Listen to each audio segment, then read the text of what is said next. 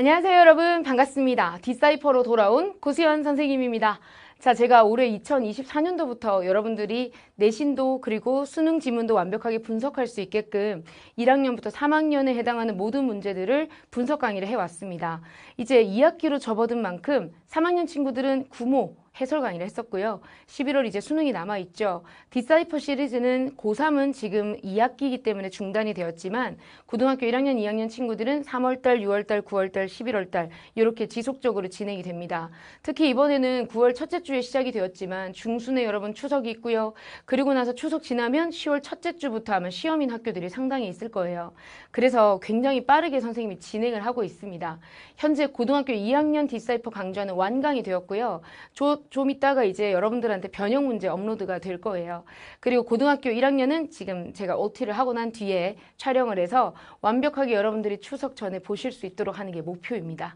자, 그러면 여러분 시험을 잘 보셨다면 이제 여기에 들어가는 부분들만 여러분들이 발췌하셔서 강의를 활용해 주시면 돼요. 활용 방법은 간단합니다. 교환으로 준비했기 때문에 교환을 출력을 하십니다. 그럼 이렇게 나올 거예요. 그럼 교환을 이제 펼치시잖아요. 그러면 위에 번호가 이렇게 되어 있고 밑에가 이렇게 한글로 되어 있어요. 그럼 여기에 선생님이 분석해주는 부분들을 일시 정지 버튼 누르면서 필기를 하시는 거예요.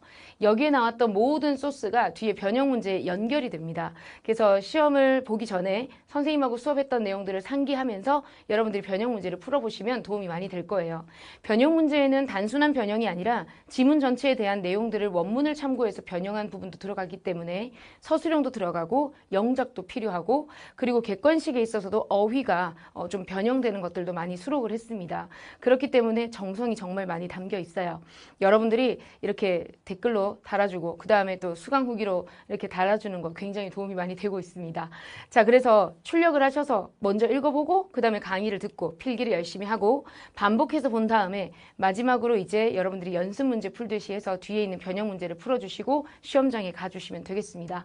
중간에 궁금한 것이 있으시면 메가스터 스터디 질문 게시판에 오셔서 질문 남겨주세요. 그러면 선생님이 직접 댓글로 답변을 드리도록 하겠습니다. 자 그러면 어, OT는 이 정도 하고 바로 저는 본 강의에 이제 촬영을 가야 되기 때문에 여기서 마무리하도록 할게요. 그럼 강의실에서 만나요. See you later.